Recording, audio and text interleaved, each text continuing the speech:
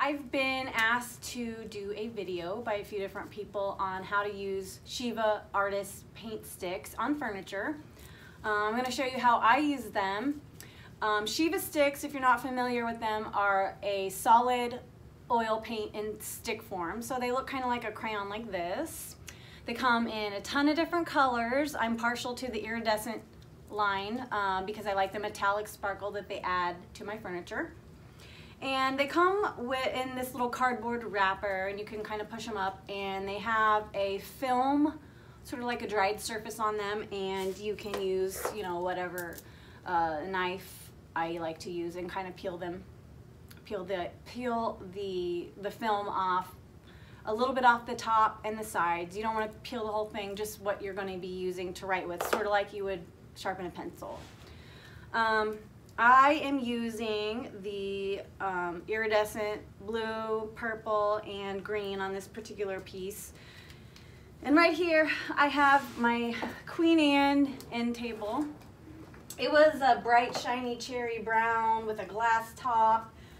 Um, it's got these beautiful claw feet, but they were not um, having any justice done to them. So I sanded, primed it, painted it uh, kind of like an ombre, um, dark to light brown to give it a little bit of um, variation in color. And then I got a wild hair and I decided to paint some cheetah on the legs. You can, you can see that. Um, it just needed something and I, I love patterns and I love crazy. So I thought that that would be kind of fun. So I did that on all four legs. And then you can see the claw and ball feet here have um, the ball, the balls I've painted gold, and then I sealed it with a um, acrylic sealer, and then I went over it with a black glaze because I really, I love glazing things with detail. The glaze sticks in the little crevices and, and, and um, details and it creates kind of like a shadow and I like to use the Shiva sticks to create a highlight. So I have some dark and some light and it really creates a lot of texture and um, or depth. It creates a lot of depth visually and it's fun to look at. So when I use the Shiva sticks, I don't usually use more than three at the max, at the max four colors at a time. Um, I like the rainbow look, but when you start to blend too many colors, it looks kind of muddy and kind of turns brown. So um, I use, generally I like to use about three of the colors. And I try to kind of keep them in, in the same, like in a rainbow order so that they blend nicely and they look um, fairly natural despite how bright and metallic they are. You know, a rainbow is natural and it just kind of blends the colors perfectly. And that's kind of what I go for. That's my inspiration when I, when I use these is, is, a, is a rainbow. Beautiful, bright, colorful, but but somewhat natural. So as you can see on this corner, I have already done my Shiva sticks on, on this corner. So um, having technical difficulties with my um, dollies here, but see how it just kind of looks like it's reflecting the light, shining off, bouncing off the light and then in the shadows, the darker shadows, it's a little, a little more subtle. But I love color, I love to use color, and these are a great way to add color to your piece without painting the whole thing rainbow. Um, they're also really fun to use. They should be, once you peel the film off, they should be kind of a creamy, oily texture, not crumbly. If they're crumbly, um, it may have gotten dried out, and I would probably invest in a new one. Um, but no, they shouldn't be crumbly. So I've got my nice, smooth, colorful, richly pigmented oil sticks here.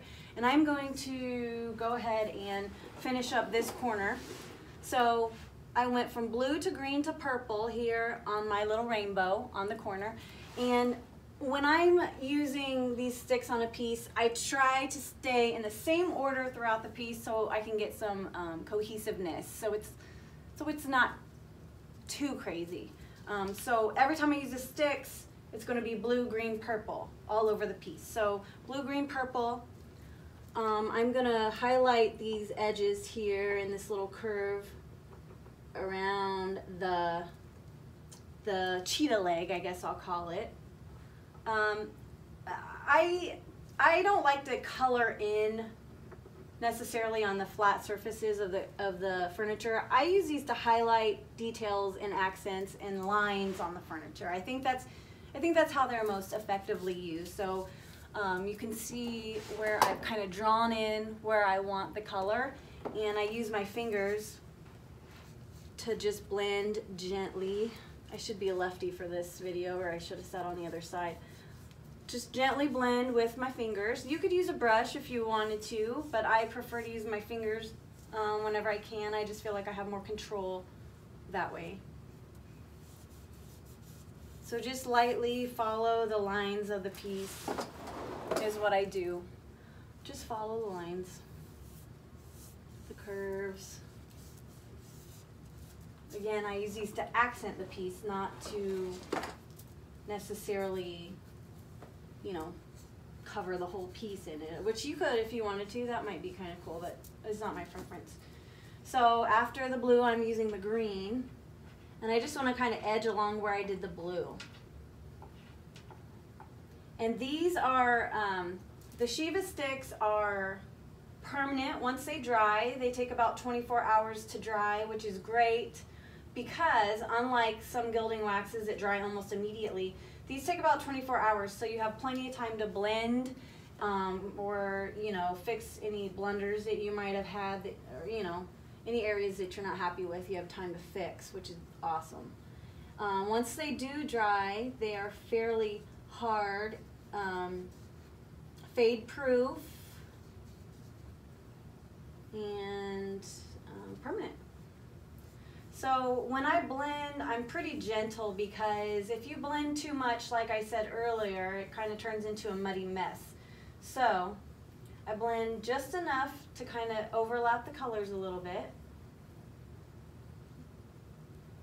Oh, I like them to look natural, like somebody kind of spilled, spilled oil, you know, on the edge of the piece. If that's a desirable look. It is to me. So can you see how the blue and the green are still blue and green separately, but they blend together just a little bit. And then lastly, I want to do my purple on the very inside.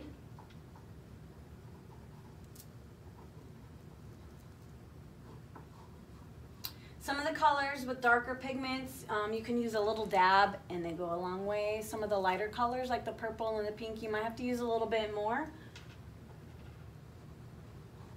But these actually last a lot, they, they last a lot longer. So um, the investment, they're a little higher end on the list of um,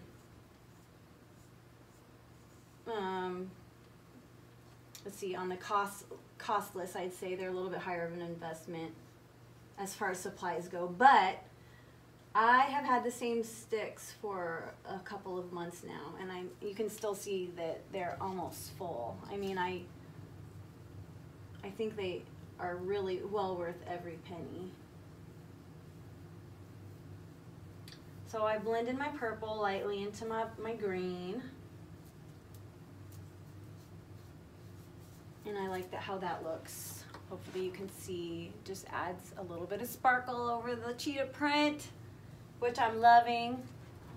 And I'm gonna turn it this way. Actually, I'm gonna move on down to the foot. I don't know if you can see that, but um, why not keep going down the foot? I'm not just gonna stop there. I'm gonna Shiva this baby up. So, I'm going around the curves of the talons here. Just a little bit up the leg,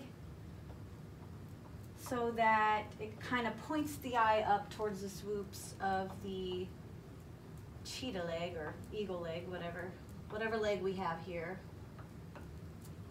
I like to point it up just a little bit. Does that make sense? So I, I'm highlighting my talons and then I want to just kind of curve it up just a little bit to follow that line. Points the eye up towards this area and I like it blue is one of those colors with a lot of, a lot of a lot of pigment. It goes a long way. And like I said, the great thing about these is if you, you know, think you use too much, just wipe some away. You got plenty of working time to work with these because they're oil based. And um, like I said, for this particular piece, I sealed it in an acrylic sealer and a glaze. But I've used these directly on chalk paint. I've used them over wax. Um, everyone always says wax is your last step, which I, I agree. Wax would be the last step unless you are planning to Shiva stick. I would not wax. I don't wax over the Shiva stick. I do Shivas last. But that is my personal preference. If I were to put a sealer over them, it would be polyurethane. So blue, and then my next rainbow order color, I'm gonna do green. I love these things. They just glide on, and they're so pretty. I'm using these crazy rainbow colors. And if you're like, well, I don't like to use those colors. My customers only like neutrals. Well, they come in gold, copper, and silver too, and also a iridescent white, which is kind of pearly. So if you are not a fan of color, you can still use the sticks. Just get you some metallic,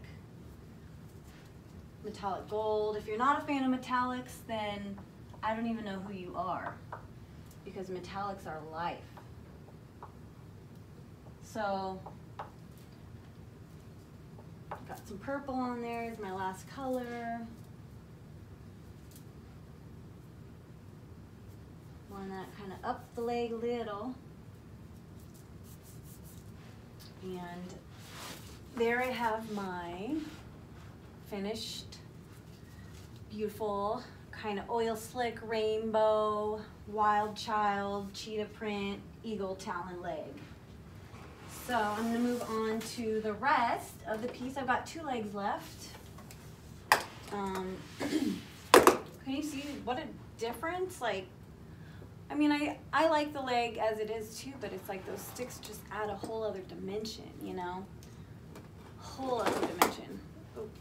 So, um, once I get this done, I'm gonna do some liquid gold leaf kind of, um, I, don't know if splatters is the right word, but I'm gonna kind of do some random, almost like a distress, but of gold leaf around the whole piece. So I'm gonna go ahead and finish up the other two sticks with my Shiva, uh, the other two legs with my Shiva sticks. Um, if you have any questions or you want to see some other pieces with the Shiva sticks, you can visit my Facebook page at CeCe Restyled. So it's C-E-C-E Restyled on Facebook. Um, shoot me a message there if you have any questions. I'm more than happy to answer if I can. Um, thanks for watching. Have a great day.